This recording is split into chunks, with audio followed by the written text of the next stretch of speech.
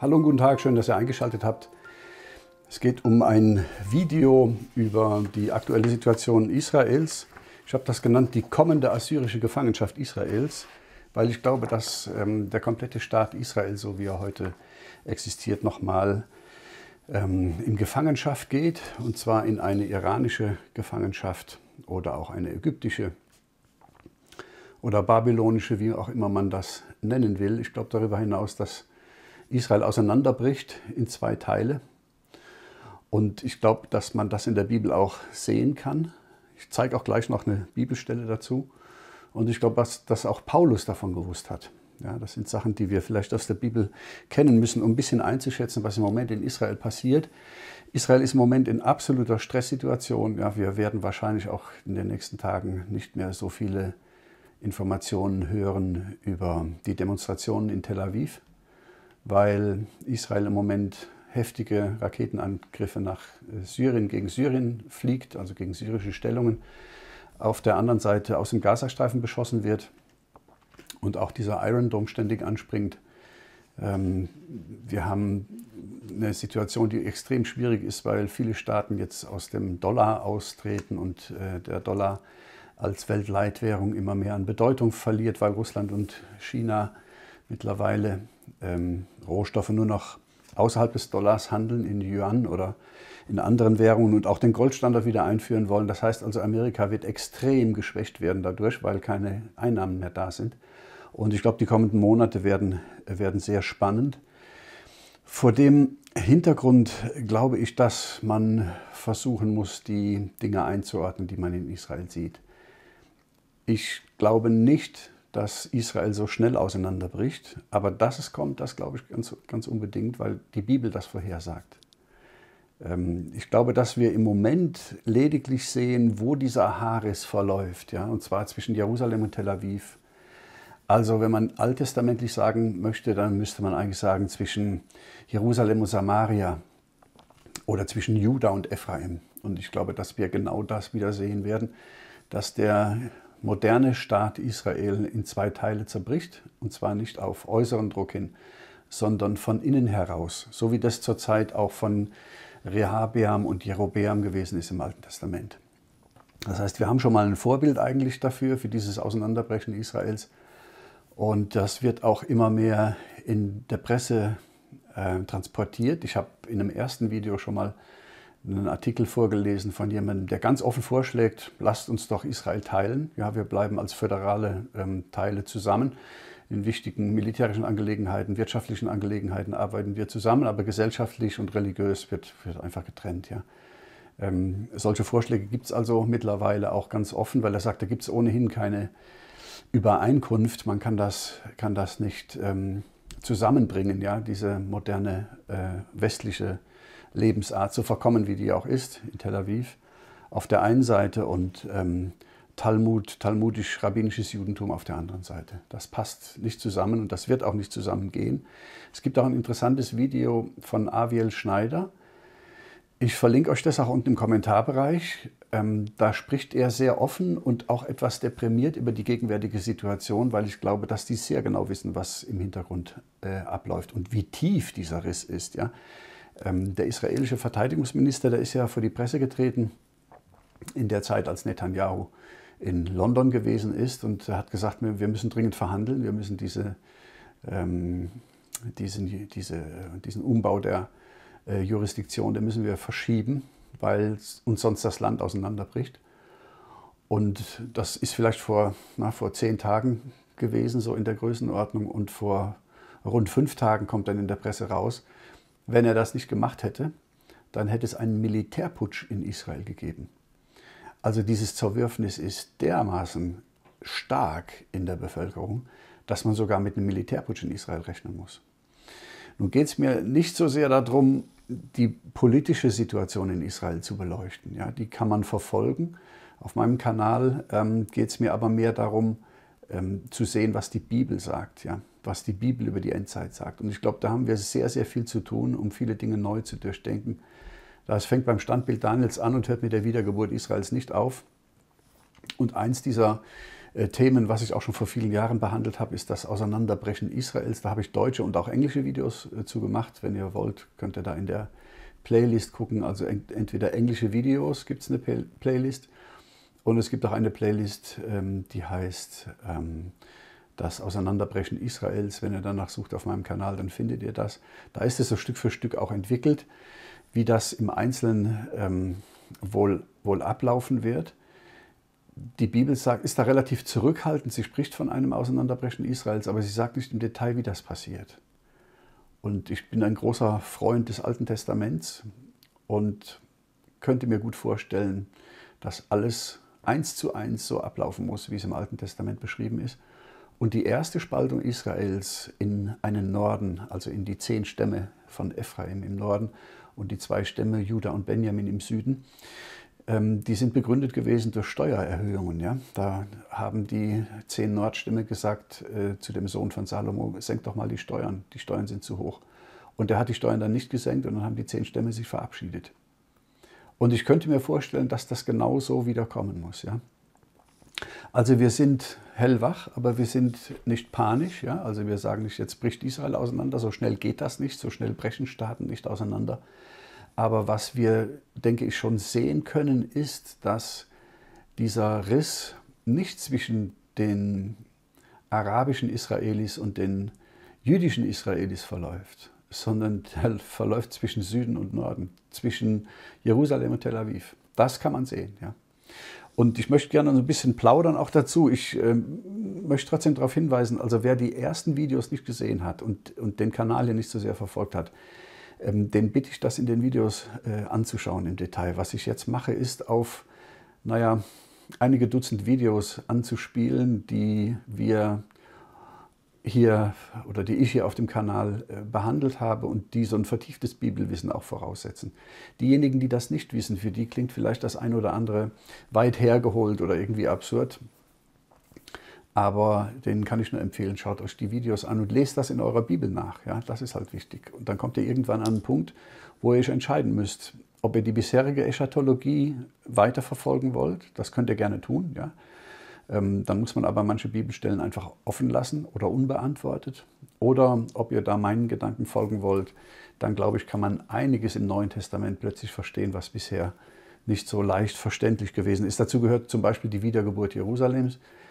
Vielleicht nur als kleines Beispiel, die Wiedergeburt Jerusalems wird an einem einzigen Tag passieren. Also die Bevölkerung, die in Jerusalem dann noch übrig ist, das werden meiner Meinung nach nur wenige tausend sein, die werden, auf, die werden belagert, ja, und die werden an einem einzigen Tag in einem einzigen Ereignis zum Glauben an Jesus Christus kommen. Und dieser Tag der Wiedergeburt Jerusalems, das ist ein Stichtag in der Endzeit. Dann haben wir drei Stichtage. Bisher hatten wir nur zwei. Bisher hatten wir nur den Tag der Entrückung, wo niemand weiß, wann der kommt, und den Tag ähm, der Rückkehr Jesu auf den Ölberg, wo auch niemand weiß, wann der kommt. Ja? Am Ende der Drangsal, ja natürlich, aber die Frage ist ja, wann fängt die Drangsal denn überhaupt an? Die fängt übrigens mit dem Tag der Wiedergeburt an, der Tag, mit dem Tag der Wiedergeburt Jerusalems, taggenau. Ähm, was ich damit aber sagen möchte, ist, mit der Kenntnis über diesen Tag der Wiedergeburt Jerusalems haben wir einen dritten Stichtag. Und wir hatten bisher nur zwei Stichtage, also nur den Stichtag der Entrückung und den Tag der Wiederkunft Christi auf dem Ölberg. Mit diesen beiden Stichtagen hat man bisher versucht, endzeitliche Ereignisse einzuordnen. Mit dem Tag der Wiedergeburt Jerusalems kommt ein dritter Stichtag dazu und das macht plötzlich vieles an Auslegung möglich, was bisher nicht möglich gewesen ist. Ja, das war Inhalt der bisherigen Videos. Also zur Situation Israels. Ich gehe davon aus, dass Israel, wenn auch nicht heute, vielleicht auch nicht nächste Woche oder nächsten Monat, vielleicht nächstes oder übernächstes Jahr, ja, das weiß aber niemand wann, dass Israel zerbricht und zwar in zwei Teile. Und zwar von innen heraus, so wie wir das jetzt schon in diesen letzten Wochen und Tagen gesehen haben, wie stark das, das Zerwürfnis im, in Israel selber ist. Ja. Und dass Israel zerbricht in zwei Teile und dass Paulus das im 2. Thessalonischer 2 auch anspricht und sagt, erst muss der Abfall kommen. Unter diesem Abfall verstehe ich nicht einen Glaubensabfall, keinen Glaubensabfall in dem Sinne, dass Christen sich äh, vom Glauben entfernen würden, oder Israelis vom israelischen Glauben. Also letzteres sowieso nicht, weil der Apostel nicht mehr Israel und seinen jüdischen Glauben im äh, Fokus hatte, sondern die Gemeinde Jesu und nur noch die. Wenn Paulus aber sagt, dass in der letzten Zeit ein Abfall kommen muss und dass das ein, ein Zeichen ist, dann kann das ja kein prozesshafter Abfall der Christenheit sein. Da muss das auch ein katastrophisches Ereignis sein. Und im Zusammenhang kann man sehen, dass dieses Wort Apostasia, also Abfall, auch die Bedeutung einer Revolte hat. Erst kommt die Revolte, erst kommt der Aufstand, erst kommt die Spaltung, die Abtrennung. Und ich glaube, dass Paulus damit meint, dass Israel auseinanderbrechen muss. Das klingt für uns erstmal abwegig. Das liegt aber eigentlich nur daran, dass wir nichts von dem Auseinanderbrechen Israels wissen. Wüssten wir aus dem Alten Testament davon, dass die Propheten dieses Auseinanderbrechen Israels für die letzte Zeit vorhersagen, hätten wir auch keine so großen Probleme, dieses Apostasia oder diesen Abfall in 2. Thessalonischer 2 dem auch zuzuordnen. Ja. Wir wissen aber nichts davon oder weite Teile der Christen wissen nichts davon und die verteidigen nicht Gottes Wort, sondern die verteidigen eine bestimmte Theologie und deswegen können sie sich das nicht vorstellen. Aber Maßstab für das, was kommt, ist nicht das, was wir uns vorstellen können, sondern Maßstab für das, was kommt, ist, was geschrieben steht. Und ich habe auch vor ähm, längerer Zeit immer wieder darauf hingewiesen, dass ich der Meinung bin, dass ähm, Amerika in diesen Endzeitereignissen keine Rolle mehr spielt. Da haben viele zu mir gesagt, das kann überhaupt nicht sein. Amerika ist die Schutzmacht Israels und Amerika wird immer für Israel einstehen. Das, das ist keine zwei Jahre her. Jetzt sehen wir, dass Amerika immer weiter hinten runterfällt, immer mehr im Chaos versinkt, im politischen Chaos, im wirtschaftlichen Chaos. Wenn jetzt keine Petrodollar mehr gezahlt werden an äh, die amerikanische Regierung, verliert Amerika natürlich auch Bonität. Das heißt, der Dollar wird fallen. Da wird eine Inflation kommen. Das wird den Euro auch mitbewegen werden. Ja, das sind äh, Sachen, wo die westliche Welt gerade in, in Turbulenzen kommt, ohne Gleichen. Ja, das hat ja auch der chinesische Staatschef zum Putin gesagt, ja, dass jetzt Dinge passieren, die die letzten 100 Jahre nicht passiert sind. Wir erleben im Prinzip einen Paradigmenwechsel von einer US-amerikanischen Hegemon Hegemonialmacht hin zu einer, zu einer asiatischen Hegemonialmacht. Ob das Russland sein wird oder China, steht nochmal aus. Ja? Aber das sehen wir bereits. Ja? Da wird Goldstandard eingeführt, da äh, wächst die Wirtschaft, das boomt, ja, da werden neue Ko Koalitionen und Allianzen geschmiedet.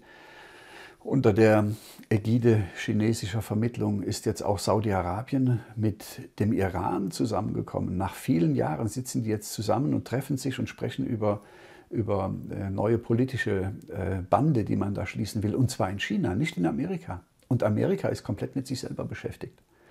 Das hat also vor, vor wenigen Jahren überhaupt niemand für möglich gehalten. Ja, ich habe immer gesagt, in der Bibel steht nichts von Amerika für die Endzeit. Und ich fand das auch erstaunlich. Ja, aber es geht nicht darum, was wir uns vorstellen können, sondern es geht darum, was geschrieben steht. Und ich glaube, dass wir überall so Ansätze sehen von dem, dass sich die Weltpolitik und insbesondere der Nahe Osten dem angleicht, was die Schrift, was die Heilige Schrift, die Bibel, ich sage das bewusst, was die Heilige Schrift uns vorhersagt. Ja?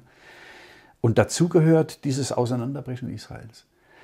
Wenn Israel zerbricht in zwei Teile, ob das aus steuerlichen Gründen, aus finanziellen Gründen ist oder wie auch immer, das weiß niemand. Ich vermute das, ja. Ähm, deswegen sage ich, ich sehe das jetzt auch noch nicht. Aber das wird kommen. Ähm, wenn Israel sich zerteilt, dann wird der Norden ein Bündnis eingehen mit Damaskus. Damaskus ähm, wird ein Stadtstaat werden. Syrien wird komplett zer, zerpflügt werden und, und, zerstört werden und dann wird Damaskus als Stadtstaat übrig bleiben. Wenn man da mal drüber nachdenkt, dass Daniel ja auch sagt, da wird ein kleines Horn kommen. Dieses kleine Horn kommt zwischen den anderen zehn Hörnern auf. Ja, ich verweise jetzt auf meine Videos. Ähm, dann glaube ich, dass damit angedeutet ist, dass Damaskus auch nur noch ein Stadtstaat ist. Zwischen zehn anderen Stadtstaaten, nämlich den Stadtstaaten der Dekapolis, kommt dieses Elfte hervor. Was ich hier sage, das ist schon sehr alt. Das wissen auch viele nicht, weil sie die Bibel nicht kennen. Aber die antike Dekapolis im ersten Jahrhundert nach Christus, äh, die kannte auch ein Bündnis zwischen der Dekapolis und Damaskus. Und dieses Bündnis zwischen der Dekapolis, oder ich sage mal umgekehrt, dieses, diese Bündnisse zwischen Damaskus und der Gegend, in der die Dekapolis lag, ähm, die sind sehr alt. Die gehen zurück bis ins fünfte Buch Mose. Und immer wieder hat Damaskus versucht, diese Gegend für sich zu vereinnahmen. Ja, also das, was die Offenbarung uns schreibt oder was Daniel da formuliert, ähm, das hat nichts mit zehn europäischen ähm, EU-Staaten zu tun, ja, in gar keiner Weise. Ähm, das sind Sachen, die, die die europäische Evangelikale da hineingelegt haben. Aber das ist nichts, was die Bibel sagt wenn man die Bibel studiert, dann findet man im Alten Testament immer wieder, dass Damaskus diese Gegend um der Dekapolis ähm, versucht hat, für sich äh, einzunehmen. Ja. Und da sagt Daniel, das kommt in der letzten Zeit wieder. Und das kommt meiner Meinung dann, wenn in der Endzeit Israel, der Norden Israels, mit Damaskus ein Bündnis eingeht oder Damaskus mit Israel ein Bündnis eingeht. Ja. Und ähm, der Daniel, der sagt ja auch, dass, ähm, ein, äh, dass der kommende Fürst einen Bund mit den vielen schließt. Und dieser Bund mit den vielen, da steht ja nicht, dass der, dass der Antichrist einen Bund mit Israel schließt, sondern da steht nur, ein kommender Fürst schließt, ein, schließt einen Bund mit den vielen. Diese vielen ist, diese vielen sind diese unorganisierte Volksmenge im Norden Israels, die überhaupt keine Zeit mehr hat, ein funktionierendes Staatssystem aufzubauen mit Judikative, Exekutive, Legislative, Militär und so weiter. Ja?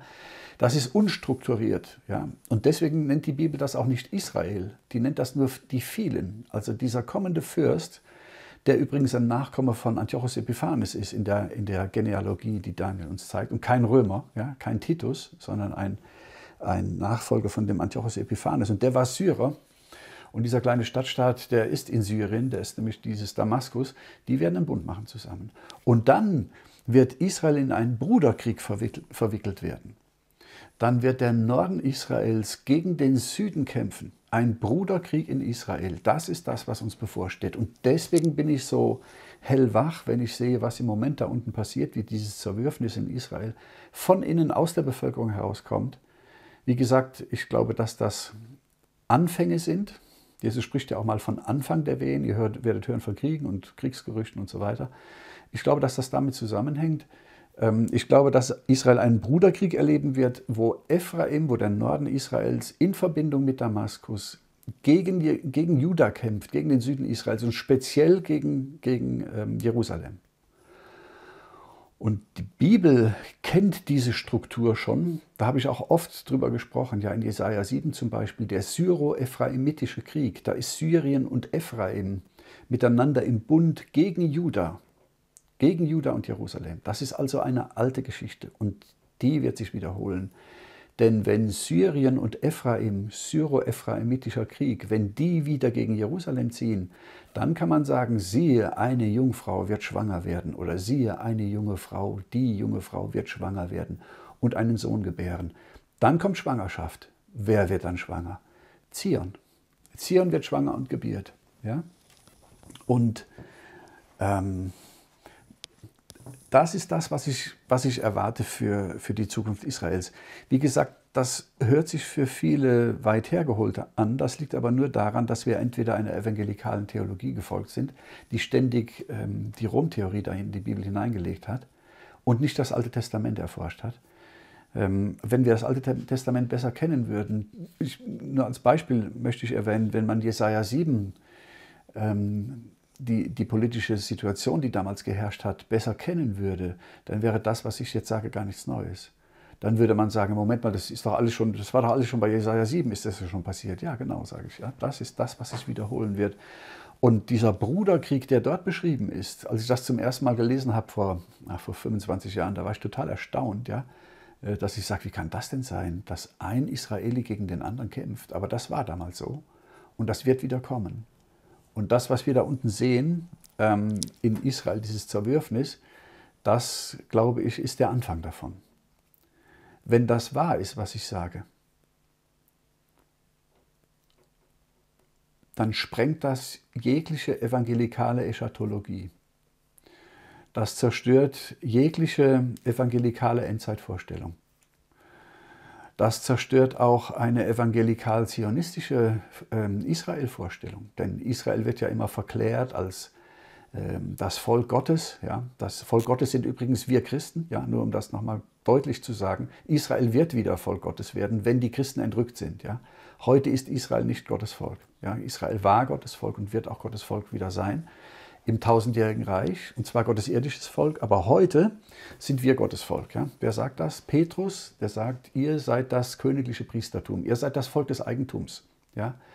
Ähm, das dürfen wir nicht vergessen. Wie können wir so selbstvergessen sein und sagen, dass die Israelis im Nahen Osten, die Jesus verworfen haben und noch immer verwerfen oder denen Jesus auch egal ist, dass die Gottes Volk wären. Ja? Das geht vollkommen am Neuen Testament vorbei. Also wir, wir müssen dringend zurück zum Wort Gottes.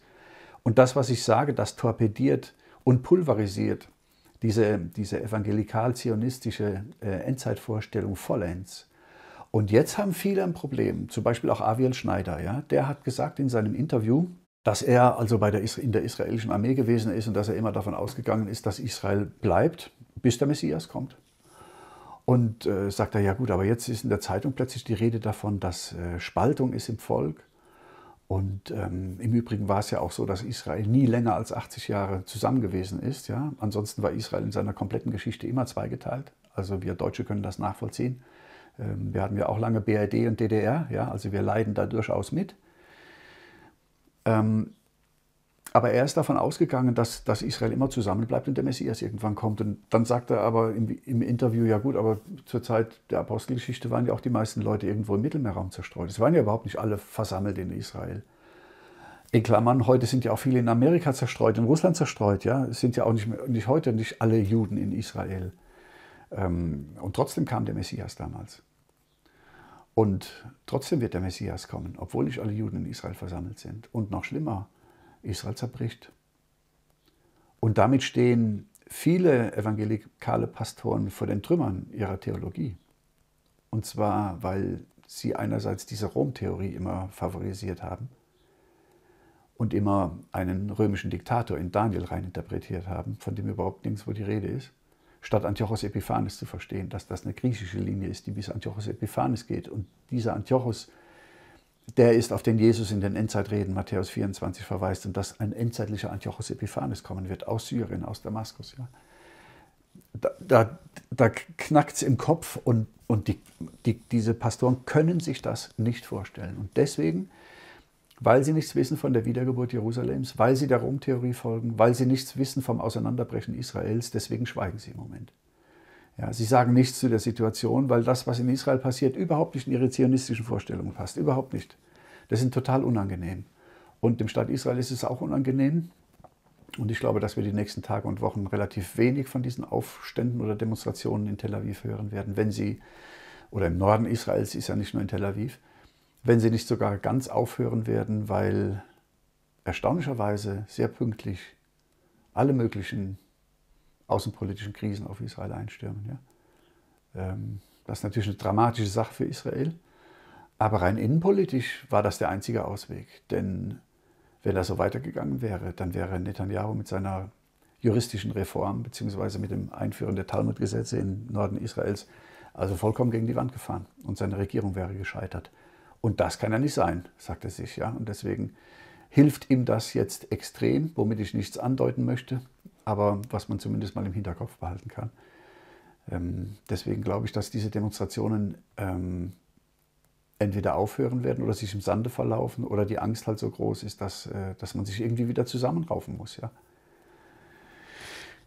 Trotzdem glaube ich, dass man, dass man sehen kann, dass der moderne Staat Israel zerbricht und schlimmer noch, der wird in der Endzeit ähm,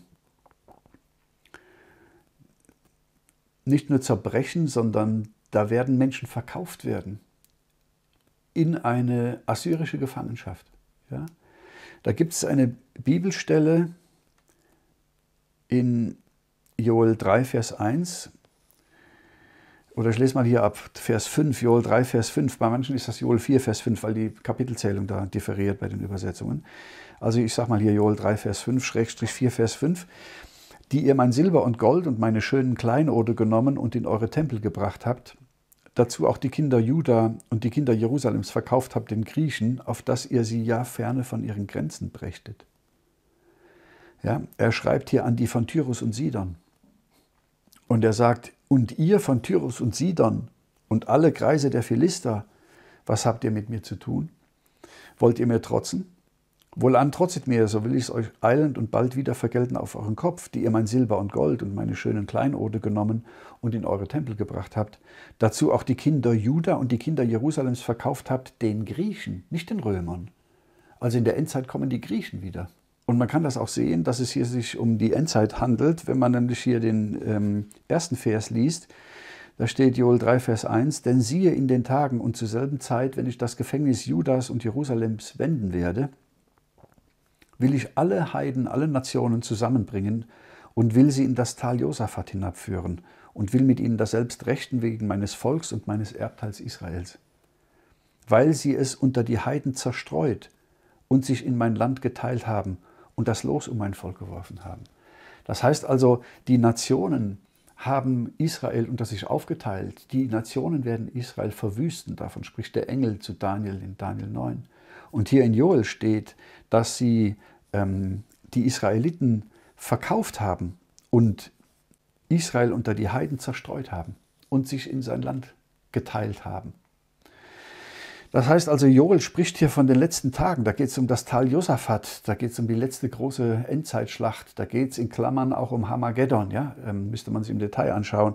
Das heißt also, Joel spricht hier von der letzten Zeit, von der letzten Zeit innerhalb der 70. Jahrwoche. Das ist gegen Ende der 70. Jahrwoche. Und Gott spricht davon, dass die in Tyrus und Sidon und alle Kreise der Philister und alle Nationen Israel verkauft haben, den Griechen. Ja, aber das würde ja bedeuten, dass in der Endzeit wieder Griechen da sind, keine Römer. Genau. Weil die Rom-Theorie existiert nicht mehr ja, die ist vorbei, die ist auch widerlegt, die funktioniert auch nicht. Ähm, das ist eine Chimäre, die man immer noch mitschleppt, die man in die Bibel hineininterpretiert hat. Warum sind das denn Griechen in der Endzeit? Naja, weil das auf Antiochos Epiphanes alles zurückgeht und weil Antiochos Epiphanes ein Grieche war. Und Antiochos Epiphanes in der Endzeit wiederkommen wird. Das ist der Antichrist. Ja, das Tier aus dem Meer, nämlich aus Damaskus, aus Syrien, das kleine Horn. Ein Tier aus dem Meer eine Wiederholung des antiken Antiochos Epiphanes. Und der war Grieche, ja? der war Seleukide und die Seleukiden kamen von Alexander dem Großen. Das heißt also, warum hier Griechen und nicht Römer steht, ja, ist dann auch nur verständlich, wenn man voraussetzt, dass in der letzten Zeit ein Antiochos Epiphanes aufkommt, eine Kopie des antiken Antiochos Epiphanes und damit diese griechische Linie von Alexander dem Großen in der Endzeit vollendet wird. Sonst kann man diese Bibelstelle hier nicht auslegen. Ja? Es gibt niemand, der erklären könnte, wer diese Griechen wären. Da fängt man dann an und ähm, will dann irgendwie sagen, ja gut, die Griechen, das ist so eine Umschreibung für Italien. Das ist vollkommen an den Haaren herbeigezogen. Ja. Ich will euch damit nur zeigen, dass es ähm, diese Aussagen hier in äh, Joel gibt, dass Israel zerteilt wird und dass Israel gefangen geschickt wird. Und wenn Hamageddon kommt, dann wird auch Assur kommen, nämlich die Könige vom Osten, die Könige von Euphrat. Ähm, das ist der heutige Iran. Und die werden die Israelis äh, gefangen nehmen und das ganze Land zerstören und verwüsten. Es wird eine große Verwüstung sein. Die Verwüstung wird bis zum Ende sein. Und es wird auch noch einen Gräuel der Verwüstung geben. Ja? Äh, das ist das, was die Bibel sagt. Und deswegen habe ich das Video auch genannt, ähm, die kommende assyrische Gefangenschaft Israels. Wenn Jesus dann wiederkommt auf dem Ölberg, dann wird er die, die zerstreut sind in Assur, Assyrien, ähm, in dem Reich des Antichristen, also im Reich der Griechen in Ägypten, die wird Gott dann alle sammeln. Und davon redet Hesekiel 37. Hesekiel 37 spricht davon, dass Gott ähm, ganz Israel wieder zusammenbringen will. Ja, da steht, das Wort des Herrn kam über mich und er führte mich hinaus im Geist des Herrn und stellte mich auf ein weites Feld, das voller Totengebeine lag. Ja. Und durch Gottes Wort wird dann Haut und Sehnen über die gezogen und dann kommt Gottes Geist in sie, dann werden die wieder lebendig und dann werden die aus den Gräbern wieder zurückgeführt. Ja, da steht in Vers 11, er sprach zu mir, du Menschenkind, diese Gebeine sind das ganze Haus Israel. Siehe, jetzt sprechen sie, unsere Gebeine sind verdorrt und unsere Hoffnung ist verloren und es ist aus mit uns. Warum? Weil die heutige Bevölkerung des modernen Staats Israel noch in eine iranische Gefangenschaft geführt werden wird. Und die glauben, dass sie dann nie mehr zurückkommen aus dieser Gefangenschaft. Und dann kommt Christus wieder auf den Ölberg, wird seine Stadt Jerusalem befreien und der wird dann die Israelis wieder sammeln und wieder alle zurückbringen. Ja? Denn in Vers 12 steht, darum weissage und spricht zu ihnen, so spricht der Herr, Siehe, ich will eure Gräber auftun und will euch, mein Volk, aus denselben herausholen und euch ins Land Israel bringen. Und ihr sollt erfahren, dass ich der Herr bin, wenn ich die Gräber geöffnet und euch, und euch mein Volk aus denselben gebracht habe. Hört ihr, das ist tausendjähriges Reich. Dann spricht Gott wieder von Israel. Das ist dann mein, sein Volk, ja? Dass er sagt, ich will euch, mein Volk aus denselben Völkern wieder zurückbringen. Dann ist Israel wieder Gottes Volk, ja? Ähm, dann wird Israel auch wieder geeint werden. Das steht dann ab Vers 16. Da steht, du Menschenkind, nimm dir ein Holz und schreibe darauf des Juda und der Kinder Israel, seiner zugetan. Und nimm noch ein Holz und schreibe darauf des Josef, nämlich das Holz Ephraims. Das ist das Nordreich, ja? Juda, das Südreich, das Nordreich. Und des ganzen Hauses, Hauses Israel seiner zugetan und tue eins zum anderen zusammen, dass es ein Holz werde in deiner Hand. Also er, Gott wird dann in Christus, im tausendjährigen Reich, Juda und Ephraim wieder zusammen unter einem König versammeln, und zwar unter dem ewigen König David, weil in Vers 25 steht, Sie sollen wieder im Lande wohnen, das ich meinem Knecht Jakob gegeben habe, darin eure Väter gewohnt haben. Sie und ihre Kinder und Kindeskinder sollen darin wohnen, ewiglich. Und jetzt kommt's. Und mein Knecht David soll ewiglich ihr Fürst sein. Ähm, als Ezekiel das geschrieben hat, da war David schon ein halbes Jahrtausend tot. Wie kann David dann plötzlich wieder der Fürst und König und Herrscher Israels sein? Naja, im tausendjährigen Reich, weil Jesus wiederkommt. Das ist das, was das Kapitel 17 sagt. Ähm, diese Art von Alia, die kommt erst noch. Das ist nicht die Alia von 1948, wird euch aber immer erzählt. Ja?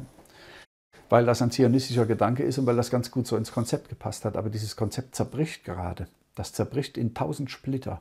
Da bleibt überhaupt nichts übrig von. Und das wird schwer werden für die Ausleger, sich da zu korrigieren. Die werden wahrscheinlich erst das akzeptieren, wenn die das sehen. Ja, dazu muss Israel erst auseinanderbrechen. Vorher werden die ihre Lehre dann nicht verlassen, weil das so, so in ihnen drin ist und weil sie sich das leider nicht vorstellen können. Aber wie gesagt, es spielt keine Rolle, was wir uns vorstellen können, sondern es spielt nur eine Rolle, was in der Schrift steht.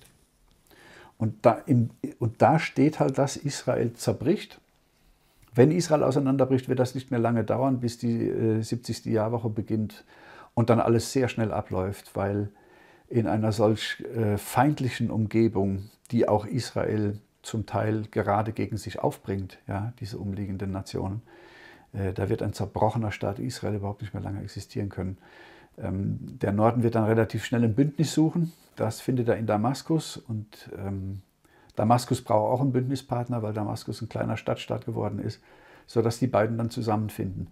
Allein der Gedanke ist von dem heutigen, von dem, was wir heute sehen, noch relativ weit entfernt. Ähm, da brauchst noch die eine oder andere Entwicklung zu. Und deswegen gehe ich auch nicht davon aus, dass das Zerbrechen Israels jetzt so kurzfristig bevorstehen würde. Aber dass es angekündigt ist, das sagt Joel und das sagt Hesekiel und das sagt Daniel und das sagt ähm, Micha und Malachi und Zachariah. Und wenn wir das wissen und das Alte Testament besser kennen, die Situation in Jeremia kennen, die Situation in Jesaja kennen, die Situation äh, bei der Landnahme kennen, die politischen Strukturen im Richterbuch etc. Und mit dem Wissen dann in 2. Thessalonicher 2 gehen. Ich kann das nicht oft genug sagen, ja dann können wir sagen, das, was Paulus dort formuliert, das passt sehr gut zu diesem alttestamentlichen, ähm, zu diesen alttestamentlichen Aussagen, zu dieser alttestamentlichen Prophetie für die Endzeit. Und scheinbar hat Paulus davon gewusst. Und dann kann man verstehen, dass Paulus von einem Zerbrechen Israels spricht. Ja? Wenn man das nicht weiß, wenn man seine Bibel nicht kennt, wenn man darin nicht unterwiesen ist, dann klingt das abwegig. Dann sagt man ja gut, das, die Christenheit muss erst vom Glauben abfallen und dann kommt der Antichrist. Gut, ich lasse es gut sein. Ja, ich äh, wollte das nur halt ein bisschen auch argumentieren, dass ihr das versteht. Deswegen ist das, was in Israel passiert, im Moment für mich so, so spannend und so interessant. Ähm, ich glaube, dass man da bestimmte Anfänge sehen kann von dem, was die Bibel für die Endzeit sagt. Ähm, vor drei Jahren, zwei Jahren hat mir auch niemand geglaubt, dass Amerika nicht mehr die Schutzmacht Israel sein äh, würde, weil die Bibel nicht davon spricht. Mittlerweile kann man sich das leider bestens vorstellen. Und das römische Reich, da leben wir gerade drin und das zerbricht gerade. Ich sage das auch schon seit vier, fünf Jahren. Am Anfang haben viele darüber gelacht, manche haben geschrieben, habe ich da was nicht mitbekommen? Ganz offensichtlich, ja, aber jetzt kriegen wir es mit. Wir kriegen es mit und von Monat zu Monat wird es schlimmer werden. Das römische Reich, Edom in den Vorstellungen der Rabbiner, das zerbricht gerade und da kommt etwas Neues, etwas, was niemand auf dem Schirm hat, aber was in der Bibel vorhergesagt ist.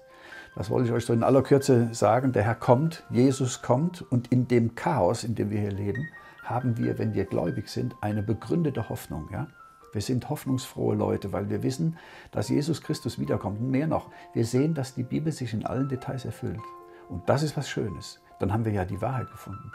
Dann sind wir auf der richtigen Seite. Ja, da haben wir Gott gefunden. Ja, dann haben wir ewiges Leben. Ja, natürlich. In alle Ewigkeit leben, bei Gott sein, in der Herrlichkeit, im Paradies. Ja, das ist das, was das Evangelium verheißt. Und Jesus sagt, wenn ihr das alles seht, dann erhebt eure Häupter, weil sich eure Erlösung naht. Ja? In dem Sinn euch alles Gute, Gottes Segen und bis bald.